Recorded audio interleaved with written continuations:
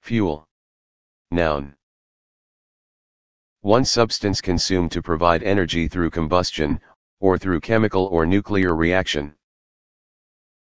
Two substance that provides nourishment for a living organism, food. 3. Figuratively, something that stimulates, encourages, or maintains an action. For example, his books were fuel for the revolution. Fuel. Verb. 1. To provide with fuel. 2. To exacerbate, to cause to grow or become greater.